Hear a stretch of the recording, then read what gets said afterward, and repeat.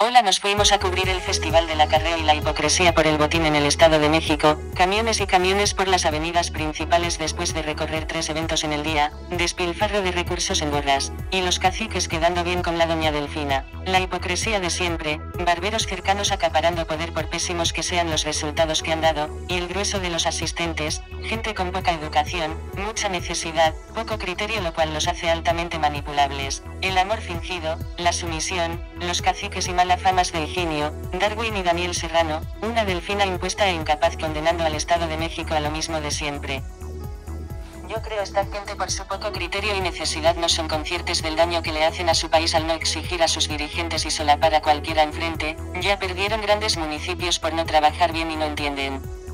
Basta de aplaudir como focas, dodos hipócritas abrazando ancianos, niños y discapacitados, menos porras y más cuestionamientos, menos propaganda y mercadotecnia y más ideas y reflexión. Dirigir un Estado implica impactar la vida de miles de seres humanos, no aprovecharse de ellos. Ya sabemos que el PRI tiene 100 años haciéndolo, veremos si realmente les indigna y hacen que paguen los muchos que la deben, se requieren más policías honestos y capaces, apoyo a artistas no solo raperos, Doña Delfina no tiene idea de nada.